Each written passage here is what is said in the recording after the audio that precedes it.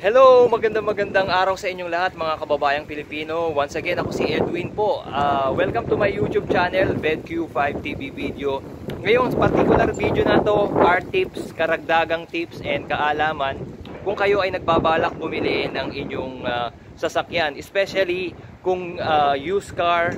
Uh, kasi kapag halimbawang brand new, wala na kayong masyadong uh, i-check doon dahil super brand new. Pero kapag uh, used car, uh, kailangan maging metikuloso kayo doon. At ito po ang video para sa inyo. Karagdagang tips and information. Tutok lang kayo hanggang dulo ng video na ito hanggang katapusan para malaman nyo yung mga based sa akin pong karanasan no, sa aking experience uh, kapag uh, bumili kayo ng used car or second hand used car.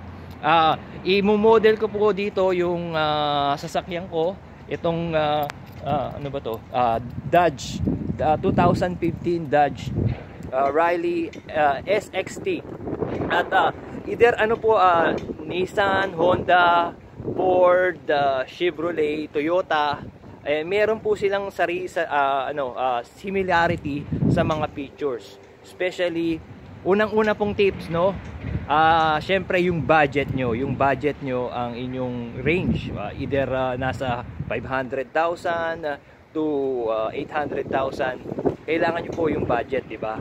And second tip syempre yung exterior. Exterior kung uh, kung anong gusto nyong uh, kulay kung anong gusto nyong uh, uh, design either uh, SUV ba o katulad ng ganitong uh, uh, sedan uh, whatever. Pagkatapos syempre yung detalye na. Oh, uh, simulan na po natin mula sa kailangan po kasi maging meti, meticuloso. Mete, uh, ano? Maging uh, uh, detalye yung ano nyo pag check nyo eh. So sisimulan mo po natin doon sa ating paint no? Do, kung kung halimbawang uh, particular kasi kayo uh, kasi po ganito pag halimbawang uh, binigyan kayo ng seller ng certain price uh, kapag chinek nyo lahat, do, doon kayo magtatawaran eh. Uh, doon kayo uh, magne-negotiate. Uh, kapag marami kayong nakitang uh, uh, mali, marami kayong nakitang uh, uh, uh, fault doon sa sasakyan, kung gusto nyo pang bilhin yung sasakyan, eh doon yung matatawaran. Halimbawa, kagaya uh, may, may meron ng gas-gas, nakita nyo may, may, may sa pag-check nyo ng exterior, meron kayo nakitang gas-gas. Point yon para para mabawasan yung ino-offer ng seller. No? So, uh, maging meticulous, maging detalyado kayo doon sa, sa, sa paint, sa exterior, kung merong sira man yan o wala, doon yung mabab, maibabawas, yung ma ini-negotiate yung uh, presyo na inaalok ng seller uh, sana na-gets nyo yun, no? Does it make sense? okay, tapos pupunta tayo doon sa, siyempre yung makina. Yung makina at uh, yung uh, interior noong mga features ng sasakyan. Okay? Uh, bubuksan ko na po itong aking uh, uh, aking model na sasakyan. Uh, buksan na po natin, no. Pasok na tayo sa ano sa Okay. Uh, kagaya nito po, uh, kagaya nitong uh, uh, tinatawag na climate control. Standard po ito sa uh, lahat ng kotse. Merong AC, aircon, tapos yung uh, defrost, uh, yung ano, uh, circulation, no? Aircon, tapos yung uh, defrost, yung hazard light, ito eh meron o wala sa ibang brand. Standard po 'yan. Kung automatic, uh, standard din, natural. uh, ito particular na model na to, eh, ang brand kasi na to is Dodge uh, Riley uh, 2015 model. Na-acquire ko siya sa uh, dealer sa Taylor, uh, David Taylor uh, dealer car shop tapos uh, standard din po ya ang mga ano tawag dito uh, speedometer, tachometer, temperature, fuel gauge.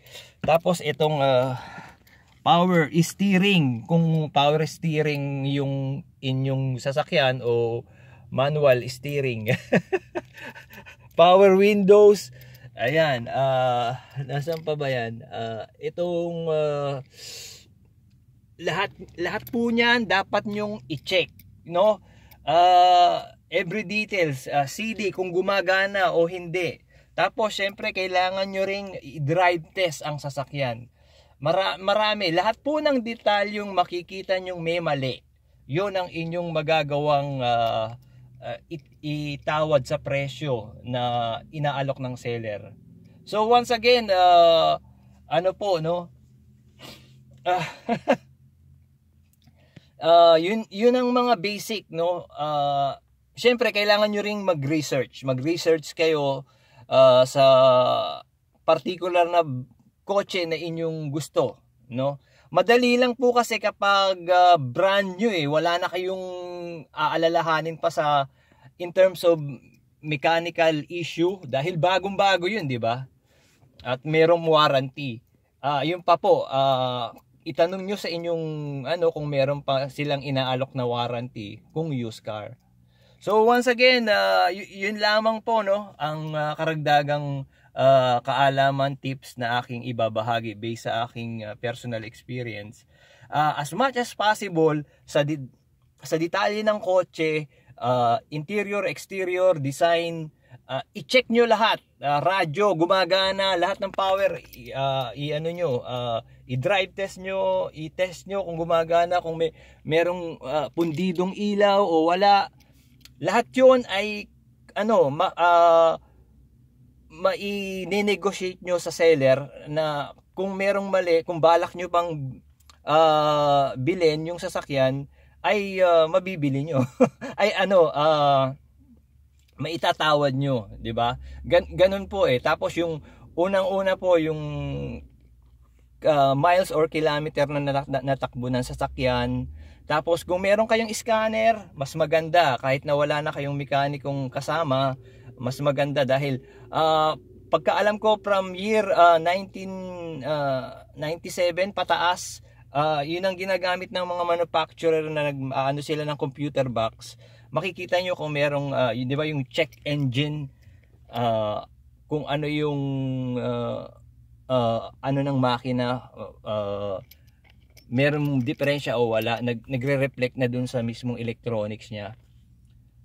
So yun lang mga kababayan no uh, I hope na nagustuhan nyo yung tips ko. Kung hindi naman, comment kayo. At kung meron pa karang, kayong karagdagang uh, uh, kaalaman, share nyo lang. So once again, ako si Edwin. Uh, maraming maraming pong salamat. And hope you subscribe, comment, and like. Bye!